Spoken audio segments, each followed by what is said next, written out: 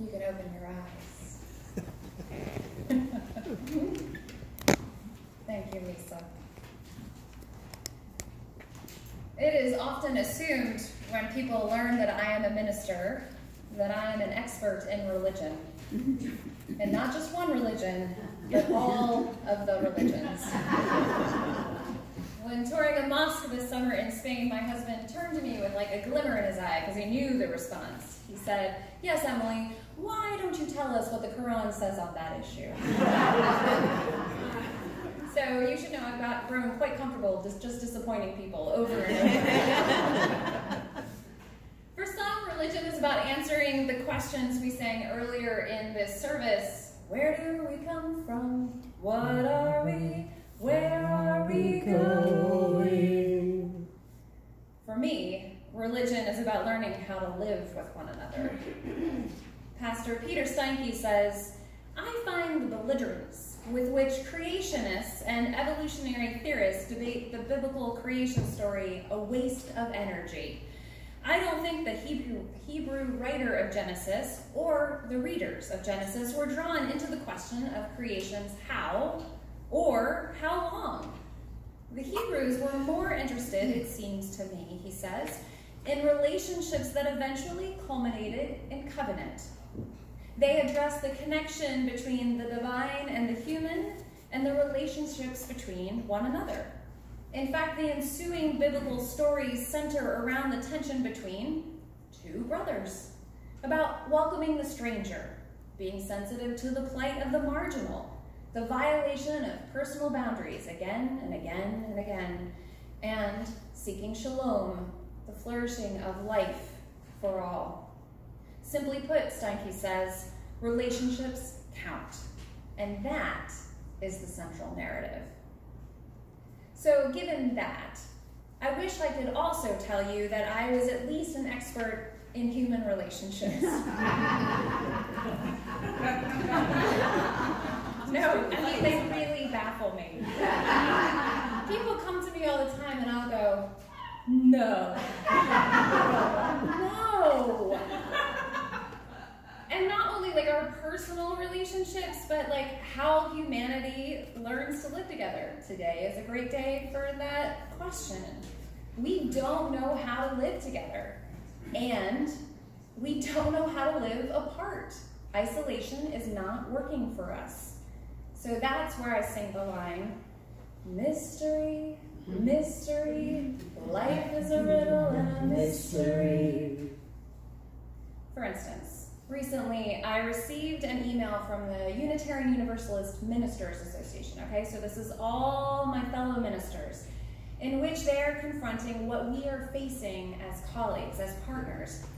And it's some very relational work. And in the email, it said that our task was dismantling white supremacy culture. It was uncovering the impact of trauma in our communities. It was learning how to deal with conflict and accountability, and it was settling the questions of authority and responsibility. Two of the letter signers of this email are two very close friends of mine from seminary. We graduated in the same class together, having spent four years together. And I wrote them back and said, Thank you so much for this letter. That is exactly right. And wow, is that all we have to do? Just dismantle white supremacy culture, learn how to deal with conflict, um, deal with our trauma. You know, and like I was like, I am, I am really trying hard right now to not hide underneath my desk. As a leader, how do we do this? We suck at this. So every once in a while when I'm hiding underneath my desk, when humanity feels particularly grim, I binge watch episodes of West Wing. right. I know some of you don't know, but it's the TV drama of the White House in the early 2000s where Jed Bartlet is the president. I know, I know it says a lot about me, not all things that I like, I'm sorry, but I'm going to admit it. But it just takes the opening chords of the opening theme song for me to stir my most like nostalgic, uh, patriotic of uh, spirits. And recently, my uh, colleague Kimberly DuBus reminded me of a specific West Wing scene President Jed Bartlet has just returned from a trip to India with gifts for his staff, namely games, but particularly a chessboard. And so while the staff deals with this massive international crisis and they are waiting up for early New Hampshire primary results, President Bartlet sits there and plays a game of chess with Sam Seaborn, his deputy communications director. And Sam is watching the president and wonders aloud, how do you do it? Meaning, how do you stay so calm in the midst of this chaos? Mm. And with his eyes on the game, President Bartlet replies, I see the whole board. I think what we need to do right now is see the whole board. If Unitarian Universalists seek to build the beloved community, that's what we talk about. If we believe in values like freedom, equality and equity, dignity, sustainability, it will require that we hold a larger vision in the midst of chaos. It will require that we not just see the next move, but we, that we see the next 10 moves, realizing that the game is complex and constantly shifting. Over the last three months, I have read with veracity a detective series based on the character of Maisie Dobbs. Any Maisie Dobbs? Right, no one. well, if you've been in a meeting with me in the last few months, I have been talking about her nonstop. So, apologies, now it's all to you. But she's a psychologist and investigator, not just a mere detective, a psychologist and investigator, and she's living and working in 1930s London. Each of the crimes that Maisie investigates are immersed in the human psychological trauma that was caused by the First World War. I mean, amazing. And it's Maurice Blanche, just to give you another little pull. Maurice Blanche is Maisie's own personal French Yoda. I mean, he really is Yoda. and he teaches her the wisdom of humanity. And funny enough, I think it's in the 1930s where I have seen what's at stake for us and why we must take this long view of human relationships. The author, Jacqueline Winspear, grew up in the county of Kent, England, near her grandfather, who was severely wounded and shell-shocked in the Battle of Somme in 1916.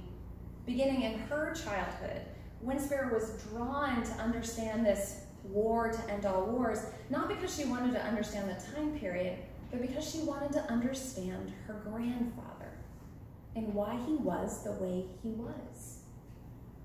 Have you ever had a family member that you think, what did they go through mm-hmm. that caused them to be like this? It was a generation who lost its innocence in the Great War. And to go on living with that trauma lays the foundation for the future. This generation will have to face a period of chaos, a Great Depression that leaves soldiers without adequate medical care, that puts a spotlight on the suffering of the all too many have-nots, while also showcasing the all too few haves. It will be an era in which the rise of fascism will seek to be a call to end that suffering, but really, but really is a way to use human resentment in order to gain power. And then there's the very real prospect of war after just having finished one. Of human being fighting human being, both in the West and in the East, and a war where parents who were lucky enough to survive the first one will face having to send their children into the next. I can't imagine. And yet, we live in the time that we live in. The questions become will they bury their heads in the sand? Will they give in to the false promises of a narcissistic dictator? What are they going to stand for? The mystery genre, says Jacqueline Winspear, provides a wonderful vehicle for exploring such a time. Because you get the underbelly. You get to see how trauma plays out. Now, mystery genre. We are not using the word mystery here to explain merely who done it we are using it in its Greek form, mythikos, meaning to enter into the mystery that is human relationship. Because when human beings are faced with such multiplying anxieties, anyone living in anxiety all the time? We can't see the options. We cannot see the chessboard. We can barely see what's in front of us. We become paralyzed, and thus we sink into our most instinctive survival skills. And we forfeit that which makes us human, our power to reflect. And it makes human relationships pretty pathetic. Now, I say this to you, of course, that's the big scheme, but let's talk about our lives. I love one particular story told by Anne Lamott, partly because it's just so funny, but just so real. And so I want you to know two things about the writer Anne Lamott, if you don't already know. She is a recovering alcoholic, and she endeavors to live the teachings of Jesus. She is a woman of principles. So her story begins as she is driving by a carpet store. And somehow, as she's driving by, she spots in the window, up against the wall, a sea foam green plush carpet. And in that moment, she's like, that's going to be so perfect for my Sunday school room, the room that I teach in. I really want to get that. So she pulls over, and minutes later, she's got the rug, and she's paid the money, and she's taken it off to her church. Now, why she doesn't open the rug at the store is a mystery to me. I'm just going to let that go. there are several things about this story I have to let go. But she takes it, they unravel it, they put it down on the nursery room floor, and there is a huge moldy spot. Right, right. And so they have to roll it back up, take it back to the carpet store, and thus begins a several day complex conflict with the salesman at the store for $50. Okay? First, the salesman makes an excuse to Anne about why he cannot reimburse her. His accountant's not there. You'll have to come back tomorrow. So when Anne returns the next day, he tells her that somebody already picked up the $50 and he points to the ledger. It's right here. And they both hold out their palms. This is a mystery the uh-huh. universal sign of being amiably perplexed. And she says, I was not particularly tweaked at this point. I felt that there had been a simple misunderstanding and we could clear it up that if you are sincere, if you're rational, if you're trusting, everything sorts itself out. Don't you think that sometimes? Like if I'm just rational, human relationships will work out. right? Uh-huh. Uh-huh. So the salesman's not helpful by any means. And when Anne sees this, she pulls out her sternest Sunday school voice. Uh-huh, you're lying. I'm calling your bluff. Nobody picked up the money. He just taps his ledger. No. It's right here. That ledger doesn't mean anything, she says. I'm from a Sunday school. Mm-hmm. That's for little children. and then she just adds for good measure, with asthma. I don't think they had asthma. he waves her away, not doing anything. And that's when she becomes furious, as furious as she can ever remember being. Have you ever had a moment where you were rational one minute and furious the next? Well, that's where she is. So let's return in this moment back to the definition of mystery, because mythikos has two definitions. It's opening ourselves up to the mystery, but you can't open yourself if you if your senses, like Anne's, are on fire, which is what is happening right now. They are on fire. So the other definition of mythikos is to shut one's senses, to close them off. Not as in shutting down, but just having a breath, a pause. Every parent of a toddler who counts to 10 is reconnecting with their humanness. One, two, three. Why are you counting, Mommy? Because I don't want to kill you.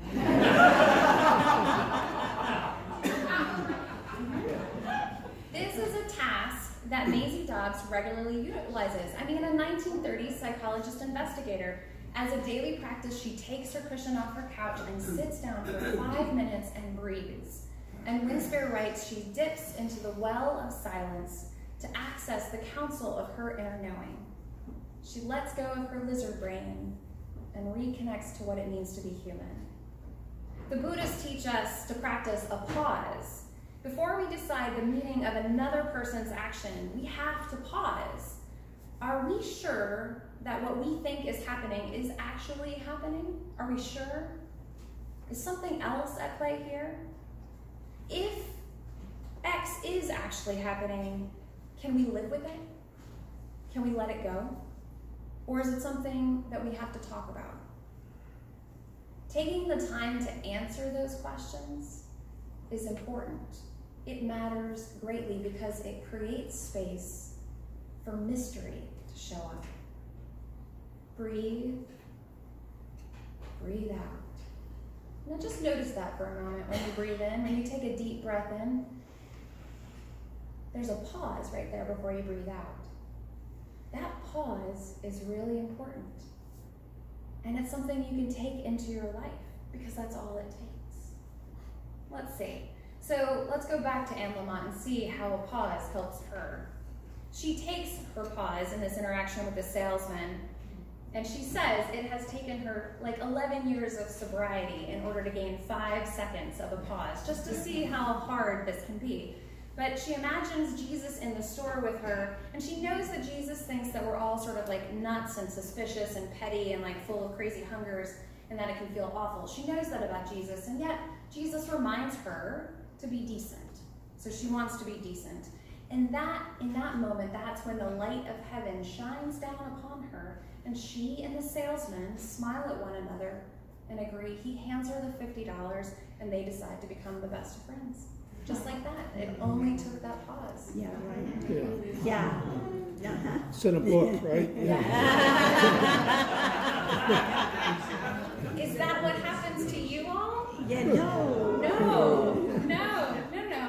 She responds with kindness and he rolls his eyes at her, Yeah. which is like the number one dismissive response in human interaction of every culture. Rolling your eyes is terrible. I live with one who rolls his eyes. she writes, in that moment, the door to the most primitive place inside me opened, then and there, where, where the betrayed child lives, terrified, wounded, and murderous. And on top of that, on top of that, I felt a deep, familiar self-loathing. The inevitable side of side effect of feeling angry and vulnerable and small. And glaring at each other, I found all that angry energy kind of heady, like a drug. The door to the most primitive place, your lizard brain. Anne Lamott in that moment behaves very badly. She might have thrown the F bomb. She definitely imagined choking him to death. Now, she didn't do it. She walked out. She sits outside in the sun, she breathes, and she just begins to laugh. to laugh at it all. And as she laughs, she lets go of that primitive place. She takes her pause. Am I sure that what is happening is happening? And if he is cheating on me, can cheating on me, cheating me, can I live with it? Who do I want to be in this moment? Deep inside, she writes, I felt that I got it. I didn't get that delicious taste of release I've been expecting when a wrong has been righted, but I got something better. I got a kind of miracle. I stopped hating myself.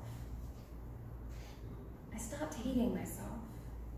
Closing her senses allowed her to open to the mystery that lie that was hidden. It was a wonder of wonders, and this is the mystery here, the wonder. The carpet guy had cheated me, but he was also an innocent bystander in a very old story. He was the smudged ledger inside of me every time I had been humiliated. I wonder how often our reactions to other people are connected to our own hurts that aren't even a part of this moment. Our own hurts that make us react and say, I'm going to hurt you before you hurt me. After a few moments, she said I knew what to do. I bought a bouquet of daisies. I wrote him a note. Said, I'm very sorry for the way I behaved. Anne Lamott. and she leaves the bouquet and the note outside of the closed store. Now, I might have just left it at that. In fact, I probably would have left the store and just like left the $50 and been like, whatever. But that's not Anne. She calls in on the phone. And she says, Hi, this is Anne Lamott. And there's this silence, like loud and dark. And he said, I got your letter. That was a decent thing to do. And just as she begins to savor his words in this moment, he says, But you behaved badly. I I behaved badly, and the rage starts up in her again. but this time it didn't take over because something else got there first her humanity. Yes, I know, she said. I behaved badly. And she let go of being right. She let go of her hurt. She forgave herself. And she just left it there. I love this story because she doesn't actually let it go for so long. She just keeps walking right into it and trying to be her best self, but then being her worst self, and then keep trying. And that's what I feel like, that's why humanity baffles me, because we keep walking into it and wondering what we should do. And the only thing that I can tell you is that we have to remember to reconnect to our humanity. Because when we walk out of these doors, we meet people on the street, we meet people in our work, we meet people on the nightly news. We have people that we love in our homes our parents, our partners, our kids, our adult kids, our friends. And it's messy. We want so badly for it to be easy, but it's just messy. And Anne Lamott reminds us that we might live in the age of the jerk, but the age of the jerk only thrives when we allow it to. Mm-hmm. And there's another way. Maisie Dobbs reminds us that we have to try even though we hate it, even though it's hard, even though it makes us uncomfortable, even though it requires us to face our own dragons, we have to face it because there's so much at stake in our time. When the world is going crazy, when everyone's being mean and cruel to one another, we have to remember who we want to be. And so I leave you with one image. This is a painting done by Georgia O'Keeffe. It's called The Sky Above the Clouds, and she was in a plane looking out at the New Mexico, Arizonan skyscape and looking at these clouds that looked like pancakes. I think it looks like a chessboard. We have to remember the larger picture of who we want to be as human beings. And what I love about this, and what George O'Keeffe loved about this, which she was most interested in, was the space between the clouds. In order to get to that place on the horizon, we need to remember the pause, the beat between our breaths that connects us to being human. George's painting is a visual representation of a poem by David Breeden. I dug and dug deeper into the earth looking for blue heaven, choking always on piles of dust rising then once at midnight, I slipped and fell into the sky. I slipped and fell into the sky. All religions point to this place of wonder that happens in human relationships when everything's not perfect and everything is hard, but you still find the mystery there. We have to live from that place. We have to show up with bouquets of flowers even when we were right we have to speak our needs and listen to the needs of others. We have to say we're sorry for how we behaved. Anne Lamott says we're invited more deeply into this mystery on a daily basis, to be here as one of many, a mess like everyone else. So, yes, relationships baffle me, but I'm keeping my eyes on the horizon. I know who I want to be. I want to be human because that's where the wonder is. We are one world, one voice, one heart beating, we are one world, one voice, one heart beating, we are one world, one voice, one heart beating, we are one world, one voice.